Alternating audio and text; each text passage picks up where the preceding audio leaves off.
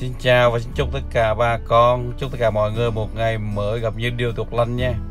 Thưa bà con và mọi người để biết giá cà phê hôm nay ngày thứ tư tăng hay giảm như thế nào thì sau đây đại Phú Hoàng mời bà con và mọi người theo mình theo dõi bằng giá cà phê tại sàn London, giá cà phê tại sàn New York, giá cà phê giá tiêu ngày hôm nay ngày thứ tư tại các địa phương các tỉnh xem thử ra sao bà con nhé.